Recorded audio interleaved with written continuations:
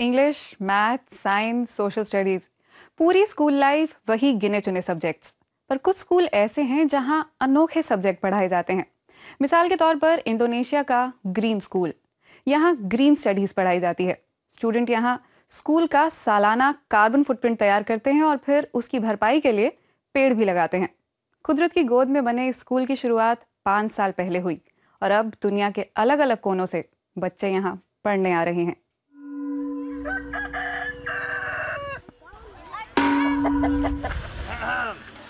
ताए जून बड़ी मेहनत कर रहे हैं। आखिर वो दुनिया को बचाना चाहते हैं। जून का ध्यान आज इस तालाब पर है। पर्यावरण को लंबे समय तक बचाकर रखना यही उनका मकसद है। आज सुबह तालाब के मेढकों और बाकी जीवों की बात चल रही है। यह है इंडोनेशियाई द्वीप, बाली में ग्रीन स्कूल। बाँस के जंगल की ओट में छिपा स्कूल उबूद शहर से करीब 15 मिनट दूर है। बच्चों का क्लासरूम सीमेंट से बने कमरे नहीं, बल्कि ये झोपड़ियाँ हैं। पढ़ाई क्लास के बाहर भी होती है। पेड़ पौधों और प्रकृति से बच्चे सीखते हैं। आज सुबह ग्रीन स्टडीज़ पढ़ाया जा रहा है। टीचर पूछते हैं, क्या आप फूल अलग अलग उगाना चाहेंगे या एक साथ?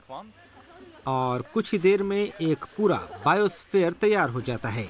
I took the role of a client today. आज मैं एक ग्राहक का किरदार निभा रहा हूँ जिसे अपना तालाब साफ़ करवाना है। मैंने कुछ आदेश दिए हैं। हम दो हफ्तों से ये काम कर रहे हैं। हमने सीखा है कि अगर मेढकों को बाहर जाने का मौका ना मिले तो वो तालाब में मर जाते हैं। पर्यावरण के अलावा ग्रीन स्कूल में दूसरे आम सब्जेक्ट मैथ फिजिक्स ज्योग्राफी भी सिखाए जाते हैं 40 देशों से बच्चे यहाँ पढ़ने आते हैं स्कूल कोर्स को अंतर्राष्ट्रीय मान्यता मिल चुकी है Right now in science class, we're doing a physics sort of uh, lab slash.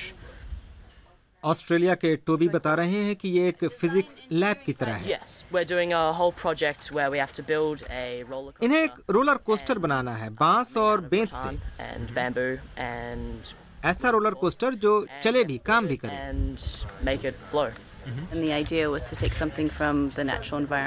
हमारा विचार था कि हम आसपास की प्रकृति से कुछ लें और सब कुछ खुद ही बनाएँ, जिससे कि अलग अलग दृष्टिकोण से इसकी गति को देखा जा सके।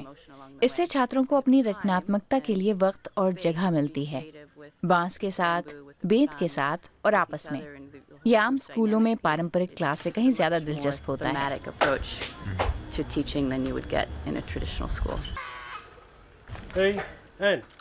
वैसे तो अभी मैथ्स की क्लास है लेकिन शुरुआत होती है इजरायली फोक डांस से।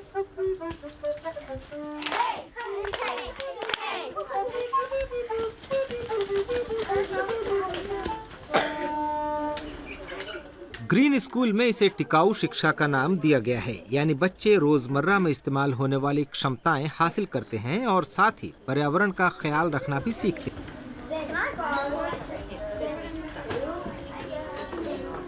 There's so many मैं इस फोक डांस के ज़रिए बच्चों को काइनेस्थेटिक्स सिखा सकता हूँ। यानी आगे बढ़ना पीछे हटना शारीरिक संतुलन रखना दाएँ और बाएँ हिलना ये सब हमारे शरीर की अद्भुत क्षमताएँ हैं। और इसलिए टिकाऊ शिक्षा बाकी सबसे कुछ हटकर है। ये सीख जीवन में आपका साथ देगी। केवल विश्वविद्यालय के लिए ये नहीं है। दोपहर के खाने का वक्त। बाली के पारंपरिक पकवान या इडली का पास्ता, साथ में स्कूल के बगीचे के ताजे टमाटर। खाना केले के पत्तों पर खाया जाता है। बर्तन धोने नहीं पड़ते और पानी कम खर्च होता है। लेकिन ऐसे स्कूल में बच्चों की फ़ीस ज़्यादा है। सालाना करीब पाँच लाख रुपए की रकम स्थानीय माँ बाप नहीं दे सकते। ग्रीन स्कूल बाली में रह रहे रईस विदेशियों के लिए है। लेकिन जो बच्चे यहाँ पढ़ते हैं वे शायद भविष्य में अपने सपने पूरे कर सकते हैं।